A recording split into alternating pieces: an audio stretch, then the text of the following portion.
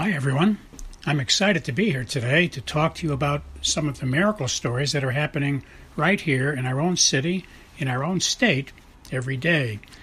My name is Tony Coscia, and the title of our show is Tony's 50,000 Coincidence Miracles. Please note, uh, this show is not about religion, and we're not trying to change anyone's religion, and we're not trying to get you to join any religion. Uh, it's just about miracle stories. I don't know of any religion on the planet that doesn't talk about miracles. Um, that's why religions begin, because they have something that's telling them there's really a God.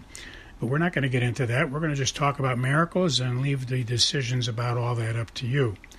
So we don't care what religion you are. Uh, we just want to talk about miracles.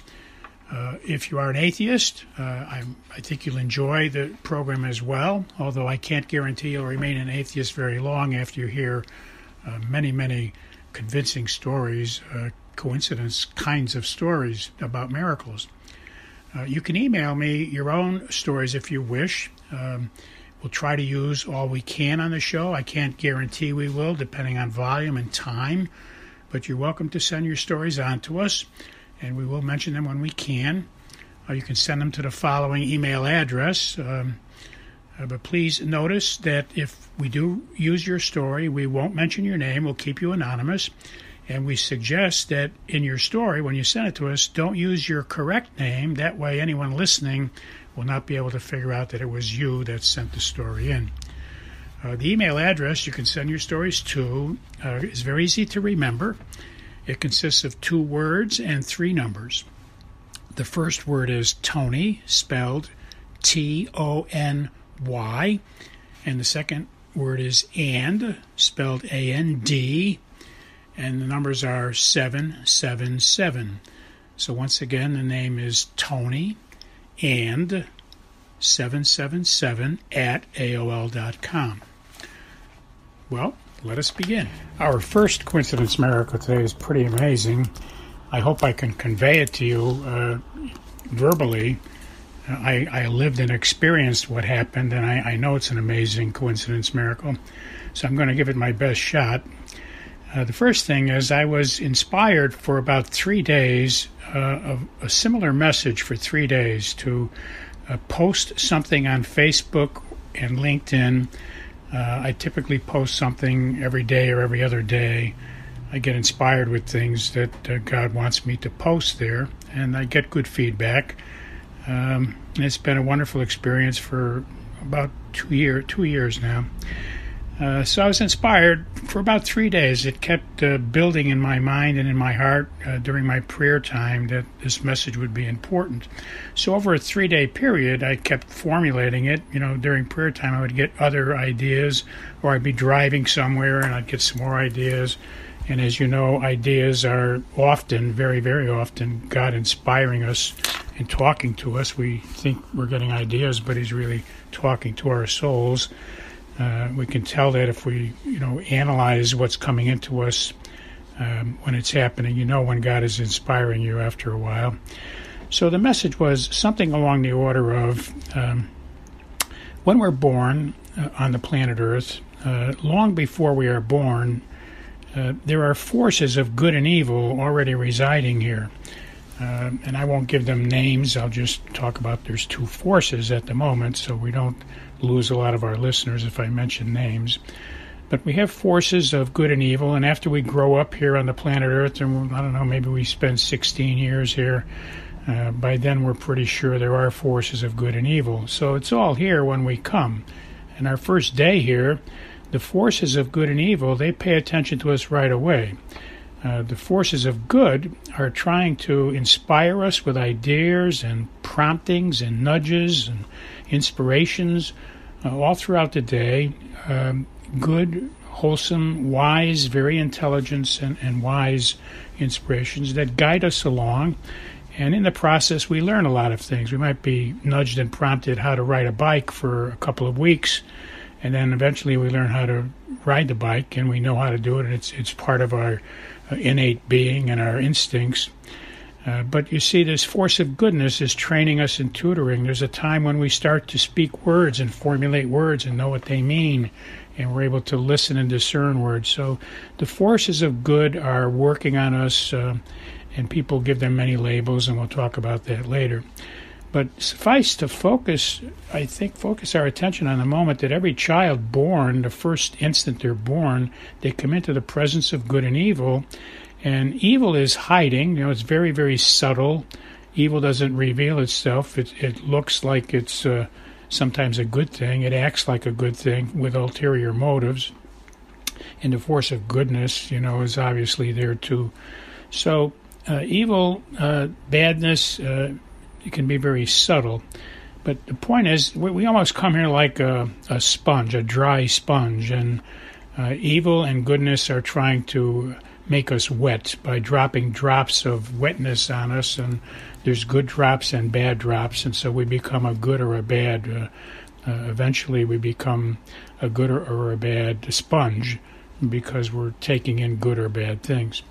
And so that was the message, and I was inspired to elaborate on the fact that uh, our world has stopped teaching our children these facts. Uh, you know, the Bible uh, goes all the way back 7,000 years. The, the, story of the Bible starts with Adam and Eve, and many people have told us that's 7,000 years ago. So we have 7,000 years of uh, interaction with good and evil that we know about if we read the Bible. And the Bible is pretty clear about we're supposed to teach our children and our children's children. Uh, I guess even into the uh, fifth or fifth generation, we're supposed to be teaching all of our descendants about the goodness we have learned. So ultimately, we should all become good sponges because we're telling each other, you know, to pay attention to goodness. And therein lies the secret: paying attention to the the inspirations we're getting, the ideas we're getting, all the inputs, the prodding, the nudging that we get during the day. That is goodness tutoring us. Those are tutoring movements. Many people call it the Holy Spirit. The Holy Spirit is guiding us and teaching us all things. And Scripture, uh, book of John 14:26 tells us the Holy Spirit teaches us all things. Okay, so we've stopped uh, we've stopped teaching our young people this, and so our young people think that they are uh, becoming intelligent beings and, and very wise and crafty in the things they're doing because they think that they're learning all this themselves or they're born with this innate wisdom and they don't realize that uh, we're all born and, and we get these blessings through life that make us what we become. So we have basically the same raw materials. Um, so the point is that goodness and evil is working on us from the moment of our birth because there's a long term plan once we're born, we're going to live forever. So that's that's part of the plan. The question is, when we leave the planet Earth after we die, are we going upstairs or downstairs? That's the question. But anyone who's born is going to live forever, and we hope we're going to live upstairs forever. All right, so that was the message to stress to everybody that we are these sponges and goodness and evil meets us on the first day of our birth, and goodness and evil are working on us all the time we walk around on the planet Earth. We think we're becoming wise and intelligent, and we don't give any credit to the goodness, and we'll call the goodness God, and we'll call the evil the devil. Um, so we don't give God any credit, and we, we try not to give the devil any credit. We, we don't think he's ever bothering us, but he's extremely crafty. So that was the message, okay? So we, bottom line, we need to keep asking God, asking goodness, what should we do all day long? What should we do about all the things that come up? And that's where we get our wisdom. The wisest man that ever lived, Solomon in the Bible. There'll never be anybody as wise as Solomon, except for Jesus, of course. But the wisdom Solomon got was because he kept asking God what to do. Now, all the confirmations I got about doing this, remember, I, I told you I was inspired to put this on Facebook and LinkedIn. Well, here, here's what I amassed in confirmations. Um, first, I did post it on LinkedIn and uh, Facebook. But uh, one of the first ones was Father Mitch Pacwa on the EWTN uh, television network. The night before I posted it, I was ready to post it, but I, knew I was going to post it the next day.